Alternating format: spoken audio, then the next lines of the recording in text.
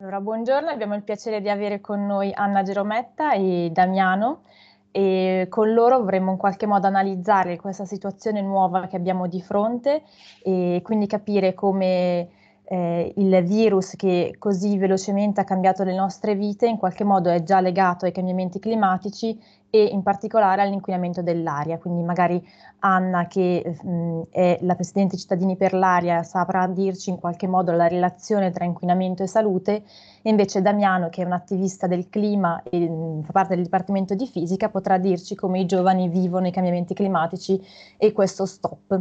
Grazie. Ciao. Ciao a tutti. Allora, mm, beh, io eh, vi, vi, posso raccontare un po' in quale misura si sta collegando e per quale motivo in questo momento si sta collegando ehm, il, eh, il problema del coronavirus scoppiato a febbraio, fine febbraio, con l'inquinamento atmosferico. Allora, l'inquinamento atmosferico è, lo sapete tutti, un insieme eh, di sostanze, cioè viene, è, è, il risultato della produzione da parte umana, perché eh, non è altro, di eh, una serie di sostanze che si disperdono nell'aria facendo sì che eh, la qualità della nostra aria venga molto peggiorata dalla, eh, da queste sostanze che possono essere gas, può essere particolato e che eh, naturalmente vengono poi assorbite dal nostro corpo sotto, in vario modo perché non solo eh, prevalentemente attraverso la respirazione ma anche attraverso come recentemente si sta studiando attraverso i nervi della, eh, olfattivi che conducono direttamente al cervello. E quindi ehm, il, la gravità diciamo, dell'inquinamento atmosferico è eh, particolarmente diciamo, eh, seria perché determina effetti molto gravi sul nostro, sulla nostra salute, tanto che eh, poco più di sei mesi fa un gruppo internazionale di ricercatori ha fatto una bella diciamo, meta-analisi descrivendo il fatto che non c'è organo umano che non venga danneggiato dalla cattiva qualità dell'aria. Il primo diciamo, eh, motivo per cui si ricollegano l'inquinamento atmosferico al coronavirus è perché ci sono stati degli studi ci sono stati degli studi in Cina che hanno evidenziato come ci fosse un incremento di infezioni nelle zone dove c'erano livelli di inquinamento più elevati e questo è stato ricondotto principalmente a due motivi. Uno, alla suscettibilità della popolazione di quelle zone che normalmente eh, si ritrova ad avere situazioni, per esempio, dell'apparato respiratorio precario. Mi senti? Mi sentite? Sì. Sento un po'. Eh, e quindi una, diciamo una, una situazione di irritazione delle mucose, per esempio, già, eh, che effettivamente può determinare una maggiore facilità del virus di eh, attaccare l'organismo. Inoltre c'è un elemento diciamo, aggiuntivo che riguarda più i chimici e i fisici che non gli epidemiologi, e cioè il fatto che secondo alcuni gruppi di ricercatori cinesi c'è stata eh, c'è evidenza del fatto che l'aria eh, sporca e quindi il particolato fa da portatore sostanzialmente del virus, cioè dove l'aria è più densa di particolato, il virus si aggrapperebbe al particolato e mm, diciamo rimarrebbe in atmosfera più, eh, più numeroso e più denso. Sono naturalmente questo, questi in particolare ancora studi che riguardano eh, non, non, nello specifico il coronavirus, ma siccome la Lombardia in particolare, la pianura padana, ha una qualità dell'aria pessima, assolutamente pessima, siccome abbiamo avuto una diciamo, qualità dell'aria a dicembre e a gennaio assolutamente peggiore che pessima, perché erano anni che non avevamo eh, concentrazioni così elevate di ossidi di azoto e di particolato, è verosimile che questo come dire, lo stanno anche eh, evidenziando i ricercatori, è verosimile che il virus si sia diffuso in modo più virulento di quanto non avrebbe fatto per essere diciamo, incappato in una popolazione che oltre a essere, oltre a tutte le altre ragioni di cui si è detto, gli anziani e cose, però comunque sia in una popolazione che era particolarmente eh, capace di ricevere questo virus perché aveva un, un organismo eh, già eh, irritato e quindi più eh, debole nella reazione. Ci sono oltretutto anche studi molto recenti che indicano come la maggiore suscettibilità dei virus delle persone che vivono in aree inquinate viene determinata dal fatto che l'inquinamento altera il sistema immunitario e quindi in sostanza questo porterebbe a eh, concludere che eh, ci può, è, è verosimile effettivamente che ci sia stata una influenza in questo scoppio lombardo della nostra qualità dell'aria. Se provate a guardare la, sull'articolo che abbiamo pubblicato sul nostro sito le foto della stessa webcam a gennaio, febbraio e marzo di Milano, eh, è impressionante vedere il colore dell'aria di eh, gennaio. È uno schermo grigio, non si vede assolutamente niente. Aperto, e quindi è eh, diciamo eh, potenzialmente eh, verosimile che il virus sia stato anche in qualche modo sorretto da, dalla, dall'inquinamento molto denso e molto eh, con concentrazioni elevatissime che abbiamo avuto in quel periodo. Poi naturalmente noi non siamo né medici né eh, eh, ricercatori, quindi lasciamo ai medici, ai ricercatori, agli epidemiologi di le, tirare le conclusioni finali, considerate però che su questo ormai sta scrivendo eh, moltissimi studiosi Mm, sono uscite dichiarazioni della Società Americana dei Pneumologi del, del,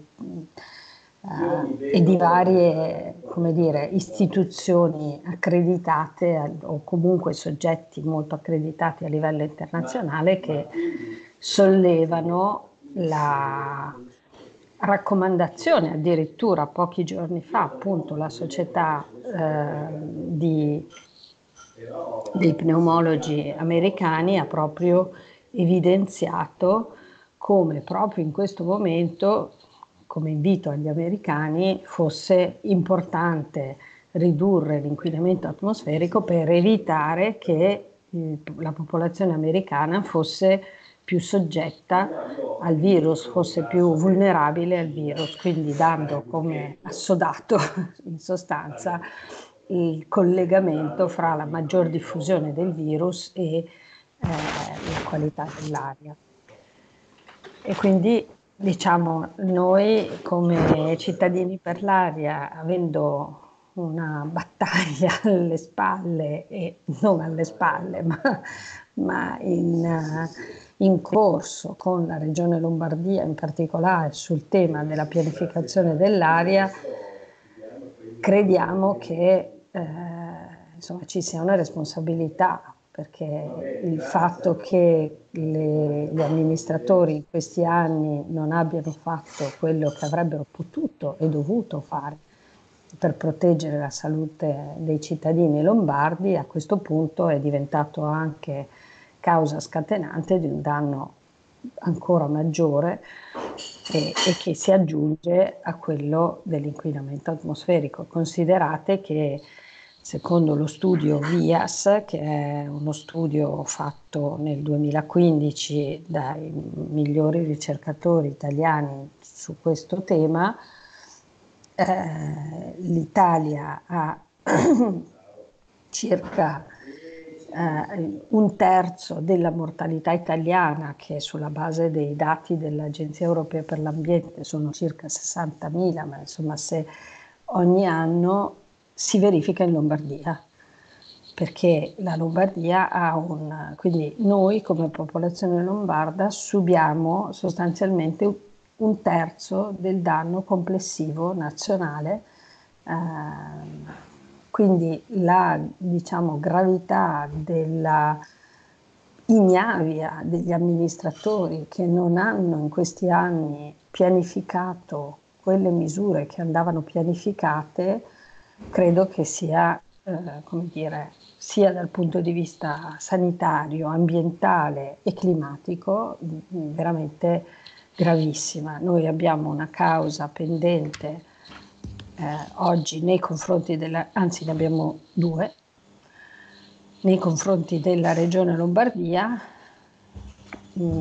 la prima con la quale abbiamo impugnato l'aggiornamento del piano della qualità dell'aria che peraltro avevamo diciamo, scaten- mm, attivato noi con un precedente ricorso nel 2017, però Ehm, purtroppo questo aggiornamento non è sufficiente, quindi abbiamo impugnato il piano della qualità dell'aria, adesso siamo in Consiglio di Stato e quindi insomma crediamo molto nel fatto che questo sia un elemento davvero centrale, la pianificazione, l'attuazione delle misure è davvero un elemento cruciale per la salute eh, de- della popolazione lombarda. Vorrei aggiungere che eh, l'anno scorso mi pare che l'assessore Cattaneo abbia detto in conferenza stampa che per eh, risanare la qualità dell'aria in Lombardia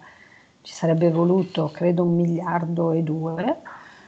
Direi che con quello che è successo quest'anno, forse se l'avessero spesi, considerando il budget della regione Lombardia, che è una delle regioni più ricche d'Europa, eh, sarebbe stata un eh, ottimo investimento, avrebbero risparmiato probabilmente tantissime vite umane e quindi la, come dire, è, è, è veramente eh, una grave responsabilità a carico di questi amministratori e ci auguriamo che questo disgraziato esperimento al quale siamo costretti a partecipare di riduzione massiccia delle emissioni eh, indichi anche alle persone sia eh, come comportarsi d'ora in poi per continuare effettivamente a ridurre il più possibile con la ripresa e quindi e, eh, le emissioni che noi produciamo e allo stesso tempo di votare bene e di chiedere amministratori veramente eh, ambiziosi e eh, decisi e coraggiosi e con una visione che non sia al prossimo turno elettorale. Non so se Mariangela, hai altre domande? Se pensi che... Oh, ti... gra- grazie mille perché comunque ci hai riportato anche un'esperienza che abbraccia un po' di anni, quindi fa capire che questa emergenza in realtà in qualche modo era già eh, studiata e si voleva già evitare di arrivare a questo. Ci sarebbero mille parentesi da dire anche del fatto che comunque alcune attività produttive sono state interrotte tardi perché comunque la questione economica non va sottovalutata. Però come dire, oggi tra i mille pensieri che quella situazione ci porta a fare ogni giorno, ci limitiamo alla dell'inquinamento. Mm, sono, sono, ovviamente anch'io concorde sul fatto che a queste misure di eh, prevenzione sarebbero state, bisognava prenderle insomma già prima, eh, però vediamo, insomma, infatti mh, mm, dici bene, questo è un esperimento, è sicuramente un esperimento che ha ricadute sociali e, e quindi adesso vorrei chiedere a te, Damiano, eh, se, eh, seco- quali sono secondo te le, i prossimi passi che si possono fare, quindi in qualche modo eh, quale ricaduta anche psicologica avrà questa, questo stop delle attività sociali mh, in tutta la popolazione, in particolare nei giovani e in particolare in voi che siete attivisti per sensibilizzare sui cambiamenti climatici da, da, già da tempo. Quindi secondo te come cambierà l'approccio alla questione climatica da prima a dopo? Ciao Mariangela, ciao a tutti. Eh, sono Damiano di Tempo Zero del Dipartimento di Fisica di Milano e siamo un collettivo ambientalista che, che si occupa di, di attività tipo questa intervista. Piacere di essere qui con voi. Allora, la domanda che poni è molto interessante e in particolare alla fine in cui hai parlato di, di un confronto, diciamo, a livello psicologico fra eh, le reazioni della, delle persone al problema del coronavirus e a quello dei cambiamenti climatici. Quindi, mh, prima provo a rispondere alla prima parte della tua domanda e poi passo a questa analogia fra i due problemi. Le cadute psicologiche di questa crisi di adesso ho, ho le idee confuse come tutti e qualche speranza, qualche dubbio e diciamo che né la scienza né la psicologia sa ancora prevedere cose così difficili, ma, ma c'è in particolare la speranza che, che, sì, come si dice, questo periodo sia, sia un, lasci, un, lasci una traccia e ci insegni a reagire più in fretta e più efficacemente ai problemi e ci faccia capire che non abbiamo proprio tutto il nostro pugno.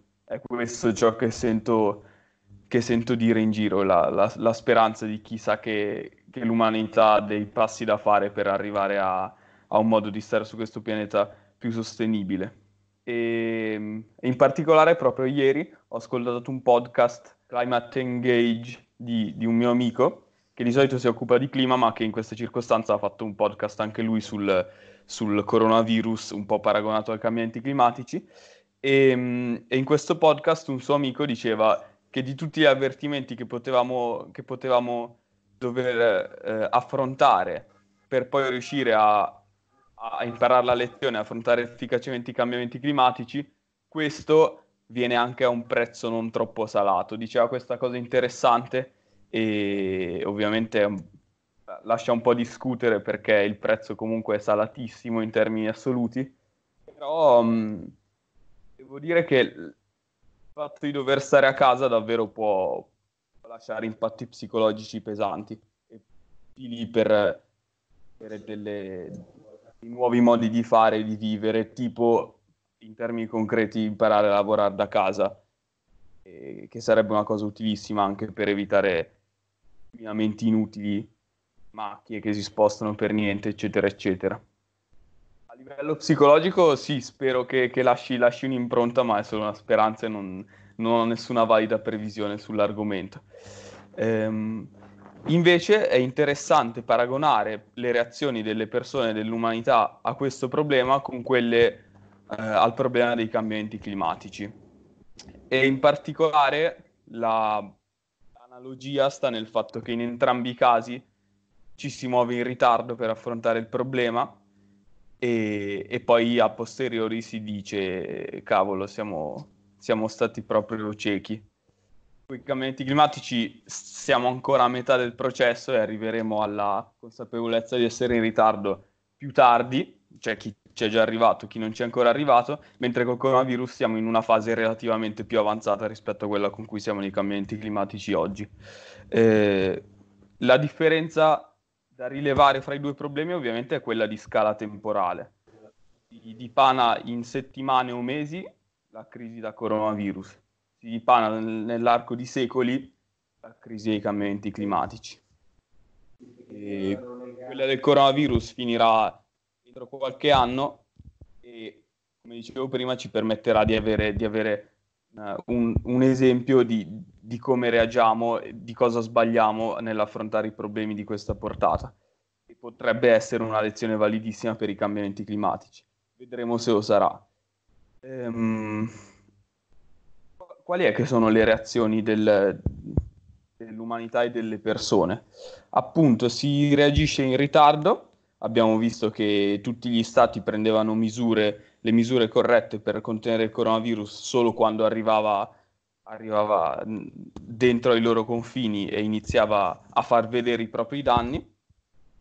E, ehm, e, e anche a livello personale anzi ancora di più, la gente segue il proprio istinto molto più che, la, che, che le previsioni scientifiche e questo problema entra nel loro cuore solo quando davvero gli arriva sotto casa.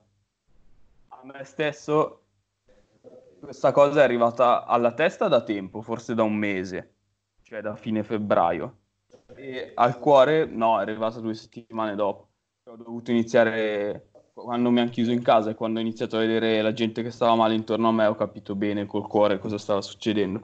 E, e questa è una cosa molto importante, non solo a livello personale, ma anche a livello, a livello dell'umanità intera, perché anche l'umanità sembra comportarsi come un singolo organismo che segue più l'istinto che la ragione. La ragione è la scienza e, e l'istinto sono, sono gli interessi concreti, economici, sociali ma, ma comunque poco, poco ragionati. C'è questo paragone proprio tra la singola persona e l'umanità intera che, che è abbastanza interessante. Ehm, a livello personale non so co- come si possa far prevalere la ragione sull'istinto. Non, eh, non, siamo programmati per questo, quindi forse non è questo il modo in cui affrontare la questione a livello personale. Però a livello di istituzioni si può fare qualcosa e, e, la scienza, io spero, avrà un ruolo maggiore nella questione dei cambiamenti climatici e sarà sempre più ascoltata, però sappiamo che finora non è stato così. Questa faccenda di adesso del coronavirus può, lasciare una traccia e insegnarci, insegnarci molto, è, è, abbastanza significativo e, e ne dovremo far tesoro, da quello che penso. Grazie. Sì, la speranza forse è che tutte le morti per i cambiamenti climatici che ci sono state fino adesso, eh, si pensi al, cam- al, cambiamento della temperatura, adesso con, fatto, con, la presenza di questo virus che in qualche modo abbinato ai cambiamenti climatici ha provocato altre morti, può in qualche modo eh, accendere un'attenzione in più. Eh, chiaro è che bisogna sempre dire no, che siamo all'interno di un sistema molto complesso e quindi poi dopo bisogna capire bene chi, quali, quali, tempi e quali modi, però dai, le speranze sono buone. E invece proprio come giovani scienziati che fate tante conferenze, quali sono i vostri prossimi progetti? So che li avete ovviamente anche voi interrotte, come pensate di organizzarvi? Allora, avevamo in ballo principalmente un ciclo di conferenze adesso in, in, in primavera, che è saltato tutto, erano quattro conferenze, le abbiamo rimandate in blocco a, all'autunno. E in cambio di, di, di, di, questo stiamo provando a fare dei video con i relatori di queste conferenze in cui anticipano qualcosa di ciò, che, di, ciò di cui ci parleranno in autunno. E poi ci sono, ci sono, altri progetti che stiamo seguendo e che possiamo anche fare da casa di ricerca, informazione personale e pubblicazione di, di, di nuove notizie. E lo fate attraverso Facebook? Sì, sì, su Facebook. Tempo, Tempo zero. zero. Perfetto. E invece come cittadini per l'aria, la, la, campagna di raccolta dati, quando è che verrà pubblicata? Eh, allora, qui abbiamo avuto, abbiamo avuto qualche problema perché purtroppo la nostra campagna, almeno in Lombardia, perché a Napoli, eh, allora la nostra campagna in Lombardia è coincisa completamente con lo shutdown, quindi diciamo che il nostro dato risentirà molto del decremento degli inquinanti, però sarà anche allo stesso tempo occasione di studio da parte del nostro comitato scientifico e di analisi del, del risultato. eh, è stato molto complicato in tutte le tre città, Milano, Roma e Napoli, in cui i cittadini stavano raccogliendo il biossido di azoto, restituire le, i campionatori passivi perché molto spesso le persone si sono trovate mh, mm, o impossibilitate eh, a, perché erano via a recuperare i campionatori e quindi abbiamo, fra virgolette, perso una certa quantità di campionatori, comunque abbiamo spedito la scorsa settimana oltre 1200 campionatori in Inghilterra, eh, in realtà il laboratorio in questo momento ha chiuso a sua volta la sua operatività, però ci hanno garantito che riusciranno a restituirci i dati, quindi per fortuna perché abbiamo avuto un momento di panico, eh, però diciamo che si allungheranno i tempi perché a questo punto eh, sarà probabilmente non maggio ma più avanti, però eh, comunque sia.